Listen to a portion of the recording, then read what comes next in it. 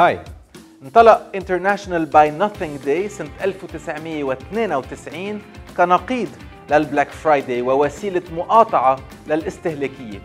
الفكرة من وراء هالحركة هي التوقف عن التسوق والتفكير بالإفراط بالاستهلاك بدل زيارة المحلات التجارية والشراء بشكل جنوني بهذا النهار بالذات رغم الإغراءات والحسومات الكتيرة ومن المعروف أنه المجتمع الأمريكي بضم عدد كبير من ال shopaholics لهيك هالحركة ما عم تنجح بشكل كبير وما قدرت تأثر على الاستهلاك بس ساهمت على الأقل بنشر الوعي بين الناس.